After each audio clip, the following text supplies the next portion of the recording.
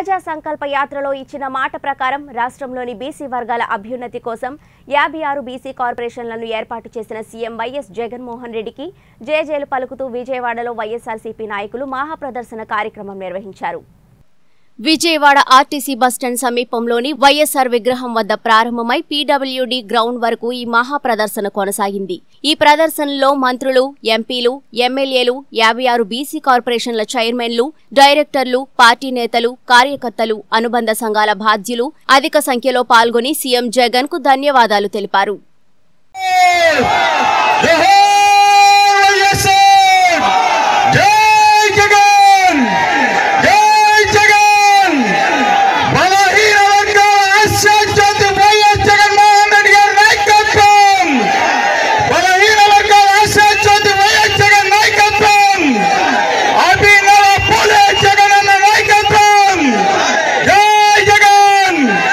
యాభై ఆరు కార్పొరేషన్లు ఇచ్చి బీసీలను గౌరవించిన జగనన్న జై జగనన్న జై జగనన్న ఈరోజు బలహీన వర్గాల్లో పుట్టిన నూట ముప్పై తొమ్మిది కులాలు ఉంటాయని చెప్పేసి మనకే తెలియదు కానీ ఆరు వందల డెబ్బై రెండు మంది డైరెక్టర్లు ఇచ్చి యాభై ఆరు చైర్మన్లు ఇచ్చి మూడు వేల ఆరు వందల నలభై ఎనిమిది కిలోమీటర్ల సుదీర్ఘ పాదయాత్రలో బలహీన వర్గాలంటే కొన్ని వర్గాలే కాదు నూట ముప్పై తొమ్మిది తన దరికి చేర్చుకొని తన అక్కడికి చేర్చుకొని తన గుండెల్లో పెట్టుకొని పాదయాత్ర అయిన తర్వాత ఏలూరులో బీసీ గట్టిలో పెట్టి బలహీన వర్గాలని స్వతంత్రం వచ్చిన దగ్గర నుంచి వాడుకుంటే.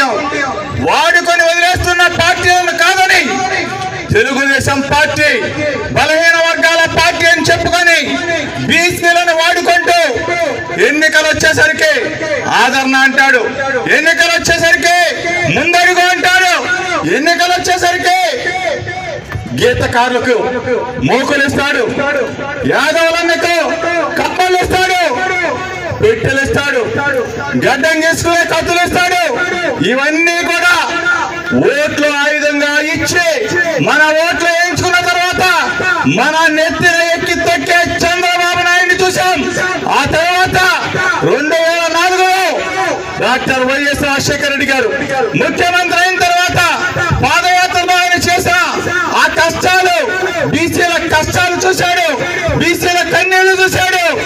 ఏ ఊరు వెళ్ళినా సరే మన పిల్లలు చదువుకున్నారంటే ఎవరో ఇంజనీర్ల వల్ల ఎవరో డాక్టర్ వల్ల ఎవరో అగ్రవర్ణాల వాళ్ళు ఇంజనీర్లు అయ్యేవాళ్ళు డాక్టర్లు అయ్యేవాళ్ళు ఎవరో మన బలహీన వర్గాల పిల్లలు డబ్బులు కట్టే పరిస్థితి అదంతా కూడా గమనించిన మన దేవుడు వైఎస్ రాజశేఖర రెడ్డి గారు మన పిల్లల్ని ఇంటికొక్కల్ని ఇంజనీర్ చేశాడు డాక్టర్ని చేశాడు ఎంసీఏ ఎంబీఏ చదివించిన దేవుడు ఎవరైనా ఉన్నాడు అంటే డాక్టర్ వైఎస్ రాజశేఖర రెడ్డి గారు. ఆ తర్వాత పాదయాత్ర చేస్తూ మూడు వేల ఆరు వందల నలభై ఎనిమిది కిలోమీటర్ల పాదయాత్రలు బీసీలు నూట ముప్పై